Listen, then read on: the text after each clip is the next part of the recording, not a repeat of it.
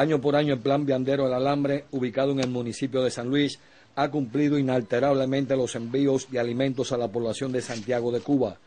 Considerado uno de los polos productivos del territorio santiaguero, acaba de iniciar este 2014 con una situación muy favorable en la producción de viandas, granos y vegetales. Nosotros tenemos una empresa, 47 estructuras productivas, tres tributan para Santiago de Cuba, el resto, bueno, tributan aquí al municipio de San Luis.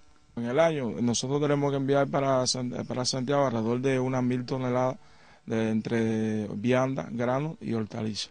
Aquí en el Alambre los planes de producción responden a lo que se hace en materia de siembra. La campaña de siembra en estos momentos nosotros la estamos cumpliendo. En la vianda teníamos pronosticado sembrar eh, 1.072 hectáreas, se, se, han sembrado 1.100 hectáreas y nos falta todavía por sembrar todavía. En el caso de los granos nos se han sembrado 958 y en hortalizas se han sembrado 1.254 hectáreas de tierra.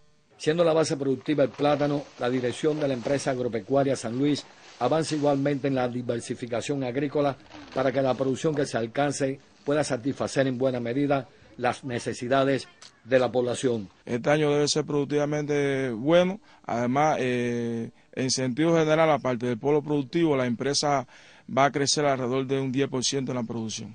José Somuano y María Maldana, Sistema Informativo de la Televisión Cubana.